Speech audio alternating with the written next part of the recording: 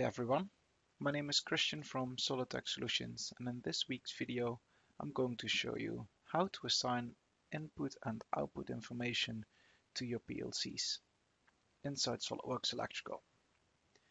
There are two ways of inserting I.O. information um, and assigning I.O. information to PLCs. One way is the manual method where you would just double click on the PLC and manually create your descriptions. However, as SOLIDWORKS Electrical is not a PLC programming software, what the PLC programmer can do is exporting the I.O. list and um, into an Excel format, for instance. So that's what I've done over here, and I will show you how to import that information into SOLIDWORKS Electrical. So what we can do is when we are here, um, I've already placed a couple of PLCs or one PLC on my drawing over here. I will simply go to the input and output screen. But before I do that, let me just move this to the left hand side and open up my Excel file. And move that to the right hand side. So you can see over here the information that has been exported by my PLC programming software. I'm going to import this information directly into SOLIDWORKS Electrical. A couple of advantages of doing it this way is that we don't have any typos and all the information is going to be um, exactly the same. So we click on input and outputs.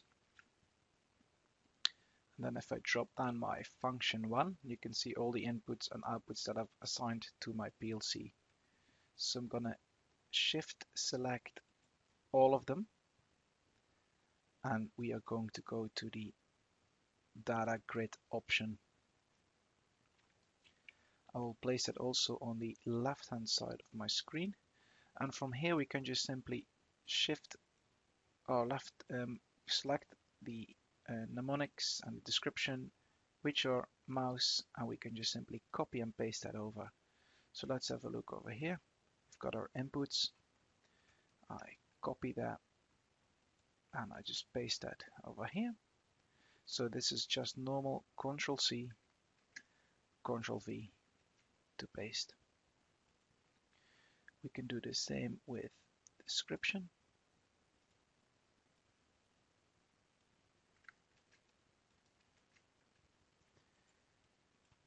And this will save you a lot of typing.